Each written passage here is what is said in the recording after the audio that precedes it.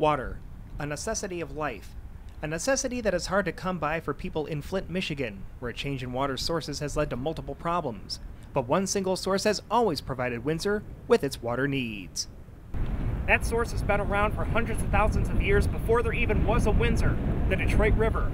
The Detroit River is part of the St. Lawrence Seaway, the biggest system of fresh water in the world, and it's the primary source of water for the two motor cities. We're very fortunate here that we have an abundant supply of good water. Barbara Pierce Marshall is the Director of Corporate Communications for EnWin, water supplier for the city. She says unlike the water supply in Flint, lead occurrences in Windsor's water tend to be caused by home infrastructure. Lead pipes in the house, brass fittings with lead content, that sort of thing, that uh, are not part of our distribution system. Windsor's distribution system is a network of pipes and mains that one way or another lead to one central plant, the Weeks Water Treatment Plant in Ford City.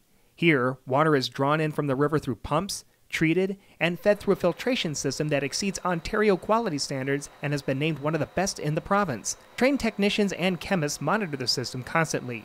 But Marshall says residents will easily get answers to any questions. If a resident has a concern of any type uh, at any time, they can always call our call center. From there, it would be a question of talking to somebody knowledgeable inside the company who would be able to advise them about whether or not they may have a problem. Water problems in Windsor are few and far between, and residents can rest easy knowing their water is safe.